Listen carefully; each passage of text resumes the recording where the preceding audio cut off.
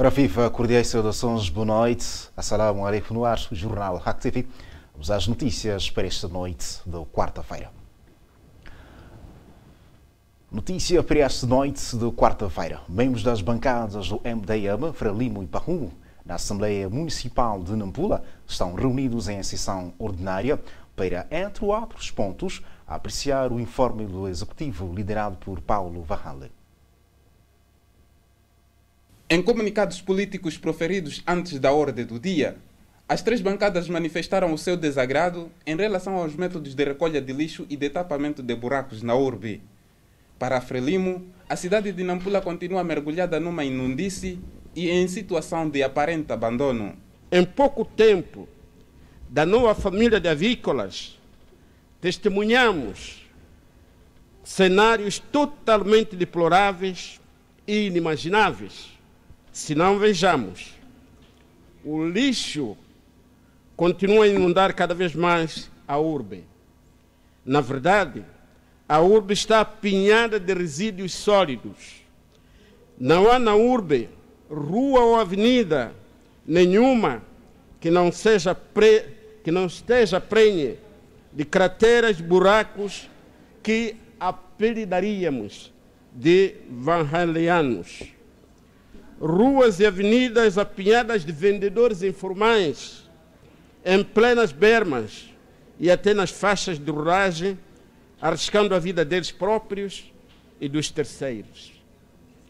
Confusão entre a atividade governativa do Executivo Municipal e a realização da atividade política da Perdiz, a ponto de os fiscais exibirem logótipos dessa família de avícolas e não do município.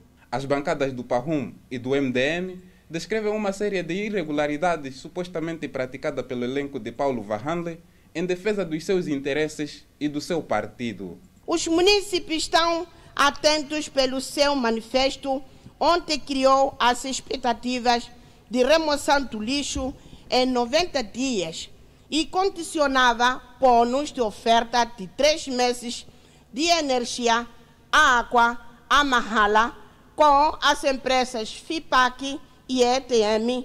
Entretanto, nada disso se verificou. O que se espera dos municípios diante dessas promessas? Senhor Presidente, estamos, como MDM, meio agastados pela ausência que o Conselho Municipal teve nas comemorações do Idi El Fidri no campo no 25 de julho. Queremos garantir aos municípios da cidade de Nampula que estaremos sempre atentos para defender o povo, fazer respeitar seus direitos fundamentais para que tenham acesso à justiça, oportunidades iguais, emprego, salário e habitação condigna. A segunda sessão ordinária da Assembleia Municipal informou-se sobre o grau de execução das atividades e do orçamento no primeiro trimestre do ano em curso. O Conselho Municipal de Nampula queixa-se de falta de fundos para o cumprimento dos planos de atividades. No informe apresentado esta segunda-feira, no decurso da segunda sessão ordinária da Assembleia Municipal, o edil de Nampula mostrou-se preocupado com o atraso no desembolso dos fundos de estrada por parte do governo, da falta de sensibilidade dos agentes econômicos no cumprimento das obrigações fiscais, entre outras inquietações. Embora o Conselho Municipal reconheça o impacto negativo dos constrangimentos referenciados acima, reitera o seu comprometimento em continuar a empenhar-se de forma contínua na procura de soluções alternativas para fazer face a estes e outros desafios através da contínua negociação com a direção do Fundo de Estradas, no sentido daquela instituição transferir os valores que deve para a edilidade dar seguimento das atividades paralisadas por falta daqueles fundos. Da contínua negociação com o Tesouro Central, no sentido de aquela instituição transferir os valores que deve para a idilidade, para seguimento e as atividades paralisadas por falta daqueles fundos. E da contínua mobilização dos agentes econômicos e outros agentes passivos do município, por forma que os mesmos cumpram com as suas obrigações fiscais. A sessão da Assembleia Municipal de Nampula contou, para além dos membros daquele órgão delineativo, com a presença de todos os vereadores, chefes dos postos administrativos, das direções sociais e convidados. Membros e simpatizantes do Partido Regional em Nampula estiveram reunidos esta terça-feira para delinear ações com vista à sua participação nas eleições autárquicas agendadas para 10 de outubro deste ano. O encontro foi orientado pelo secretário-geral do partido e tinha como objetivo partilhar experiências com os membros na perspectiva de se tornarem mais ativos durante a realização dos pleitos eleitorais. Partilhamos com os colegas o conjunto de regras, o conjunto de princípios que devem seguir para que tenhamos um controle efetivo nas mesas, identificando melhor os quadros do partido para serem MMVs, delegados de candidatura. Sentimos que ao longo das autarquias, eh, desde Malema, Ribau, Angoche, Ilha de Moçambique, eh, Nacala Porto, Monapo e aqui na cidade de Nampula, há, há um interesse, há uma motivação das pessoas, dos quadros, no sentido de prestarem o seu melhor para honrarmos o esforço do saudoso presidente Jacama. O encontro também serviu para evidenciar os feitos do presidente Afonso Jacama, que em vida defendeu a democracia no país. Transmitir a eles a necessidade de continuarmos a trabalhar para que aquilo que foi o desenho do saudoso presidente se concretize. Estou a falar do trabalho para termos vitórias nos próximos pleitos como uma forma de chorarmos ao nosso presidente, como uma forma de, de, de, reforçarmos aquilo que ele deixou como um legado, porque todos nós sabemos que o presidente Acama, durante os 41 anos, dedicou-se ao povo, dedicou-se à, à democracia. E isto tudo se completa com vitórias. Nos próximos dias, Arnam vai apresentar os cabeças de lista do seu partido que já têm condições criadas para a participação nas eleições autárquicas de 10 de outubro próximo nos 53 municípios do país. A Associação de Amor à Justiça, Paz e Solidariedade, uma nova organização da sociedade civil, anunciou esta quarta-feira a intenção de concorrer pelo município de Inampula nas eleições autárquicas de 10 de outubro. Composta maioritariamente por antigos seguidores do falecido Mahmoud Amurani, a associação deverá apresentar-se ao público nos próximos dias. Castro Niquina, secretário executivo da AMASBIS, avança em linhas gerais o programa de governação municipal em caso de vitória. Sentimos obrigados a, a nos juntar para ver se a gente poderia, de facto, fazer, fazer com que os nossos municípios sintam-se bem cuidados. Este é o nosso propósito. Mas também quero ainda aproveitar esta mesma ocasião fazer compreender a todos os munícipes residentes, assim como também não residentes, que existem alguns partidos que dentro da cidade de Nampula vêm usando este nome amoraniano, como, como quem quisesse dizer que somos nós, mas queremos fazer entender que é uma falsidade. Apenas é a Magipse que está lá inserida o grupo amoraniano. A Associação Moçambicana de Amor à Justiça, Paz e Solidariedade diz ter sido contactada por outras formações políticas para efeitos de coligação. Existiram uma média de quatro eh, organizações políticas, não é?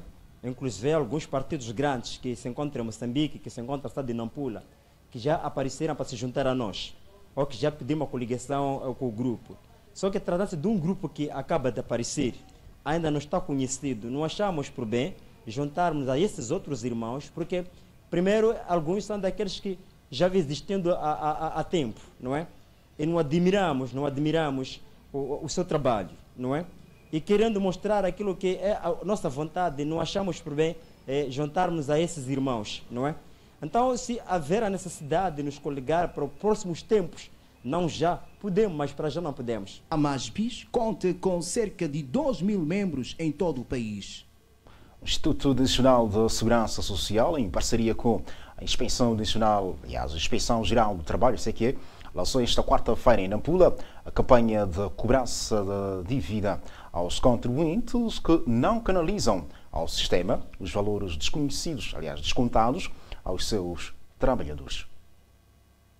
A recuperação do valor deverá ocorrer durante a campanha de cobrança da dívida aos contribuintes do sistema, que terá duração de 30 dias, onde igualmente se prevê a realização de ações de natureza educativa a contribuintes e beneficiários, realçando a importância da canalização dos valores descontados aos trabalhadores. Nosso propósito era mesmo que cobrássemos os 130 milhões que estão em dívidas a nível da província de Nampula. Mas sabemos as dificuldades que vamos enfrentar diante, durante esses 30 dias, mas vamos nos esforçar para pelo menos alcançarmos os 15%. Estamos a falar cerca de 20 milhões de meticais, que pode ser um valor muito importante para nós continuarmos a dar uh, o andamento a esta atividade. Esta campanha não vai se encerrar apenas nos 30 dias. 30, os 30 dias são aqueles que vamos ter uma maior incidência, mas é uma campanha contínua que nós vamos fazendo eh, de forma rotineira, de modo a alcançarmos 130 milhões que pretendemos. A campanha terá um caráter pacífico e os contribuintes que se mostrarem renitentes serão encaminhados às instituições de justiça, onde irão ser responsabilizados pelas infrações cometidas. Esta campanha insere-se mesmo naquela que é é, o estreitamento da nossa relação com os nossos parceiros sociais, porque entre as duas opções que nós temos, que é a cobrança coerciva ou esta pacífica, nós optamos por esta pacífica e queremos que os empregadores colaborem para que nós logremos alcançar os intentos que nos levaram a lançar esta campanha. Por outro lado, a campanha visa igualmente sensibilizar o contribuinte que se encontra na situação de infrator sobre a necessidade de cumprir com o dever de canalizar as contribuições descontadas nos salários dos trabalhadores ao Sistema Nacional de Segurança Social. A província de Nampula planifica recuperar mais de 20 milhões de meticais da dívida dos contribuintes ao Sistema Nacional de Segurança Social. O valor corresponde a 15% da dívida, estimada em 130 milhões de meticais. A campanha que foi desencadeada esta segunda-feira ao nível do país visa salvaguardar os interesses de muitos trabalhadores e pensionistas que se encontram na iminência de ficar privados dos seus direitos sociais devido ao desvio dos seus descontos salariais destinados ao sistema de segurança social. A segurança social constitui para os trabalhadores um dos pilares indispensáveis e uma retaguarda segura do seu futuro. Por esta esperança, apelamos aos empregadores que a campanha que hoje inicia seja uma lição a aprender por parte das empresas de devedoras e que não não continuem a pautar por esta atitude que em nada beneficia, beneficia nem a elas nem aos trabalhadores. Iniciamos o lançamento oficial da campanha da dívida de contribuições ao nível da província de Nampula. Fazemos votos para que todos os nossos parceiros colaborem na campanha, para que o INSS possa honrar com o seu compromisso de garantir portanto, a proteção social aos trabalhadores em caso de falta ou diminuição da capacidade para o trabalho.